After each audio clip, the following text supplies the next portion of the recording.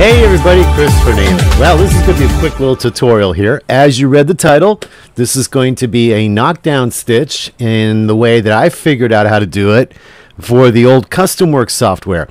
Now, a lot of you out there have software that you purchased through BabyLock, which was designer um, designers gallery. Before designers gallery, there was CustomWorks.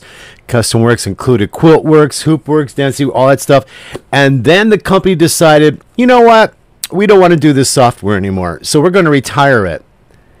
And they left everyone in the dark, right? and even Masterworks. Remember Masterworks? That was a that was a software where everybody was spending a thousand dollars or more to do digitizing. It was a great, great intense software. I mean, it was powerful. But if you don't have the doggle for the later version, you can't even use it. I have custom work. I have Masterworks two. My dog, my dongle, blue, and I can't even use it. I have CustomWorks one. Custom.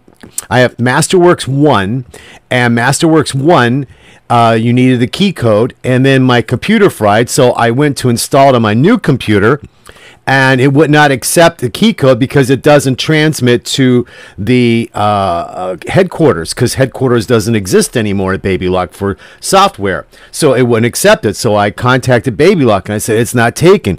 And they must have a whole bunch of new people that work there because she said, yes, it will. Just enter your key code. I'm like, I've done the key code. But the way that this old software works is it communicates with headquarters to make sure that the key code is correct and blah, blah, blah, blah. And it's not doing it. So I have software that's sitting there, Masterworks, that doesn't work. Anyway, I I, I, switched over to Embrilliance and love Embrilliance, but I still have CustomWorks. And CustomWorks is a great, powerful editing tool for all your basics, right? And this is what we're going to look at today. We're going to look at how do we get a knockdown stitch with CustomWorks for towel monogram embroidery.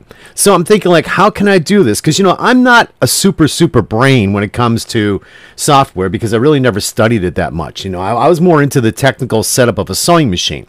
So now that I'm getting more into embroidery, you know, I'm getting also getting more into the uh, uh, software programs. So let me show you how I figured out how to do a knockdown stitch. And this is, if you have a better way of doing it and you know this, hey, please comment below and let us know. But this is how I figured it out and how I'm going to do it. Okay. So first of all, I want to set up a hoop. I'm going to set up a hoop. I'm just going to do a four by four hoop here. Now, if you notice my left little arrow here, going to the left here is some color bars. Looks like the rainbow flag. And you click that and a hoop will come up.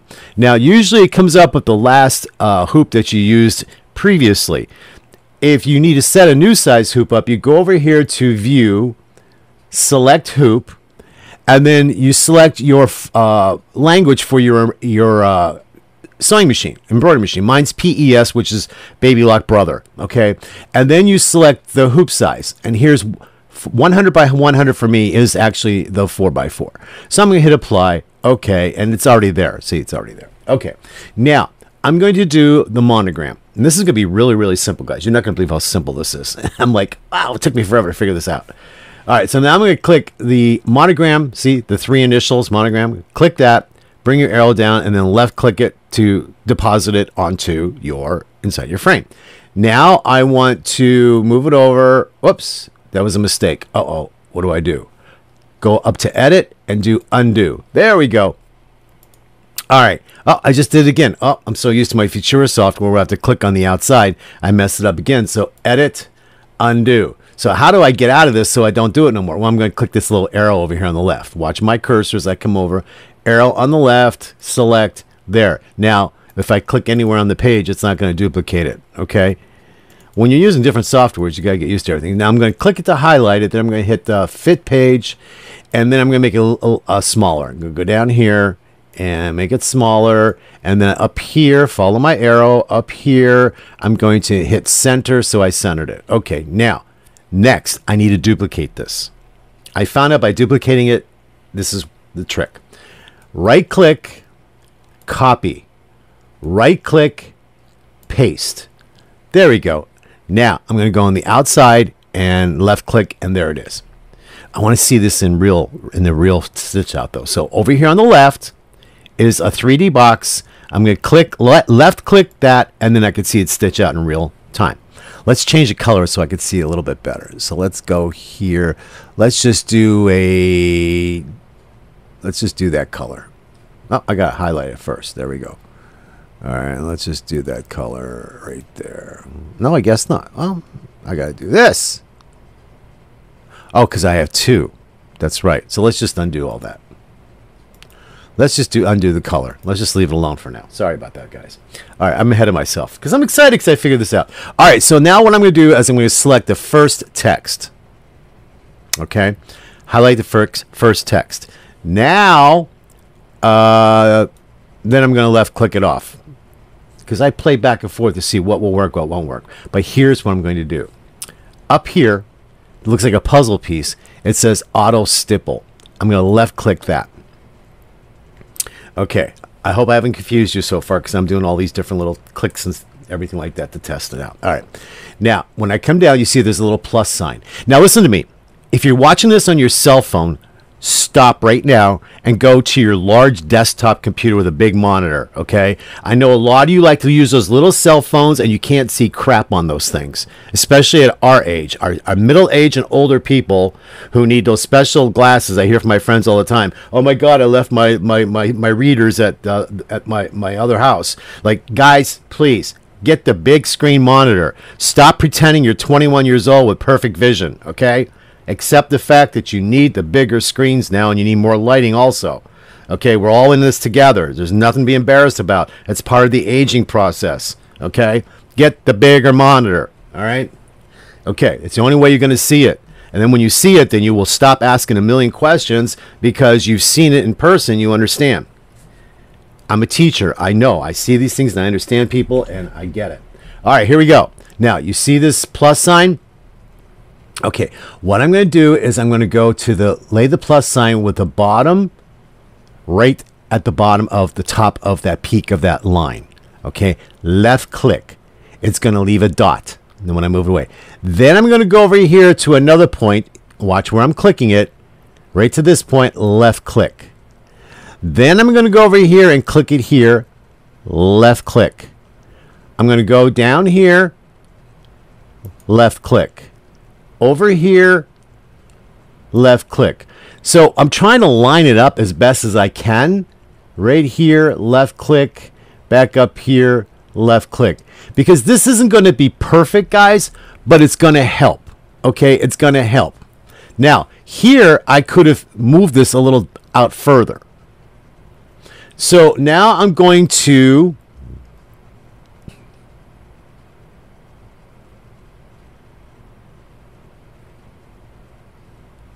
hit apply right here at the right. But before I hit apply, I want to change the density and the stitch. This is only the third or fourth time I've done this, guys, and I'm so excited I had to write this video. So the density, I'm going to bring the density down to 1.5. Oh, 1.5. And the stitch length, I'm going to leave at 2.0. Okay, let's try that. And let's hit apply. Nothing's happening. Well, let me let me do my little arrow there. There we go. So I had to touch that little arrow back here at the left. Okay, so now you see that I've got a stipple. But the stipple is on top of my lettering. So now what I do is I go over here to the right and it says auto stipple. I'm going to right click and I'm going to go move first. So now it's going to go on top, which means it's going to be behind my lettering. Okay. Now I don't need two letterings, so I'm going to go to the bottom here. Let me show you. There's two letterings now. I, got, I can get rid of one. So I'm going to do the left click, and I'm going to do right click, and I'm going to do delete. There we go. Now I want to fix the stipple, make it a little bit bigger. So I'm going to go over here on the right, left click the auto stipple, and then I'm just going to drag this out a bit here. Everywhere I think I may need something, I'm going to drag it out just a bit. Maybe I want more up here. A little bit here. And then I'm going to hold and move it around just to give it a little bit evenness. Okay? And then I'm going to left click. Not bad, but not right. So left click it again and move it there. Now, this is going to be practice for you all. Where when you do your little dot clicking with your with your plus sign, that's where it's going to really make a difference. Now, because this is a knockdown stitch for a towel, your prominent uh, visual when you're looking at the towel is going to be the lettering anyway. You just need a dot knockdown stitch behind. But that stippling to me looks a little bit loose yet, right? So let's just click on the stippling and let's see. Hmm, should I do a tighter density or should I do maybe a longer stitch. Let's just play the stitch length. Let's do 2.5. Hit apply. Oh, look at that. You thought maybe doing a shorter stitch length would make a difference, but see how 2.5 made a difference. Right? Now density, do I want to do more than 1.5 because you know when you're when you're embroidering on thick fabrics, if it's too tight, that needle's going to bust on you. But just for uh, what we call uh, hits and giggles. Let's just knock that down to 1.0 and just see if that makes a difference. Just to look at it. Enter. Oh yeah, see that's that's that is tight. That's really tight. And I have done knockdown stitches on other designs on other software where it's so tight that the needle broke and jammed and messed up my machine. So let's just take this. Let's do this at 2.0 and see what happens at that. That's a little too loose. So let's do 1.5 again apply. All right, there we go. Now I'm going to left click on the screen. There we go. Let's do a let's let's left click the auto stipple and change the color. We'll make it a lighter color. There we go. And then left click and then let's do play for a stitch simulation and see how it's going to look. Now, normally your knockdown stitches that they create are X's and X's. They do a lot of uh, you know close X's for your commercial built-in uh, knockdown stitches. But this this this this this isn't this doesn't look that bad, does it, guys? It might it looks pretty good. So there it is. So you're knocking down all that high fluffy towel first. And make sure when you do this, you're going to use your water soluble, the clear water soluble stable on top of the fabric plus your normal hooping that you do for towels underneath. Okay. And then the stitch out right there. Now, in a future video, I will be doing a stitch out and showing you in real time the embroidery, but I don't have time right now. I'll do that probably next week, maybe sooner. Who knows? You know me. But I wanted to show you this right away to give you guys an idea of how beautiful that is.